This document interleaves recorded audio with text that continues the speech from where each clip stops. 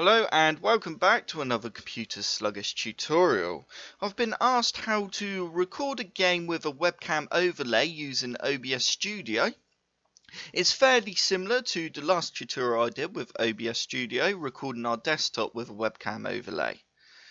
To do this, you need to go open up OBS, obviously, for a start, and then you'll have your blank windows.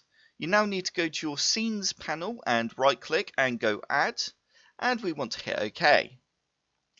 We're just adding a scene there. You can have as many scenes as you want which can have different sources in so we could have our desktop source or we could have a gaming um, you know scene with sources.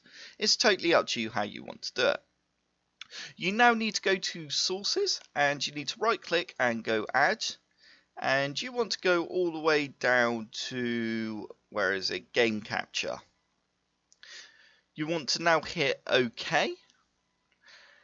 Here for the mode we don't want to capture any full screen application. You can keep it at that if you want but it doesn't always work. It doesn't always pick up the games. I like to actually go select that and select capture specific window then I like to click on window and select the actual application or game that I want to record. So in this instance, I want to record Battlefield 1. So that's the window that I've now selected. You can also, if you want, capture your cursor if you want. It's totally up to you. I, I like to keep that on, but yeah, again, like I said, that's down to you. You now need to go on to OK, unless you want to uncheck um, use anti-cheat compatibility hook or capture the third-party overlay such as Steam. Like for instance when someone messages you on Origin or Steam and it pops up in the corner, it'll record that, which is really cool. But I don't like to have that on because I don't want people to see what people send me in a message. You now need to hit OK and we want to right click on this window up here in the top left and go down to transform. Then click stretch to screen.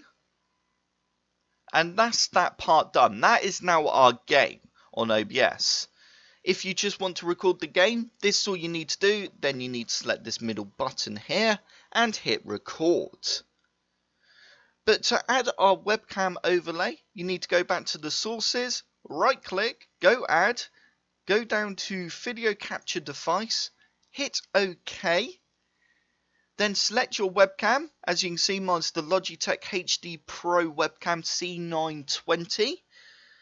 Then hit OK again.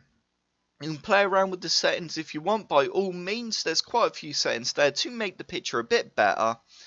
But that's up to you. And you can actually see my hand in the reflection there. right.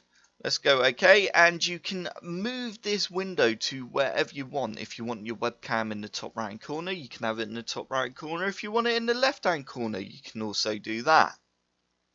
You can change the size of it by dragging the little circular buttons in the corners you can have it really small or you can have it really big. It's totally up to you. It's down to preference how big you want your webcam to be. To save that, we now need to press the middle button and now that is the screen that will be recorded. If I was to move the webcam there now, like that, that screen will not be recorded on the left hand side. It's still only going to record the right hand side until you press this middle button to update that screen. And that's it. You just then need to hit record, start recording, or start streaming, whatever it is you want to do. And you'll go. You are all good to go. I hope this tutorial helped. If it did, hit the like button below and subscribe for more computer sluggish tutorials.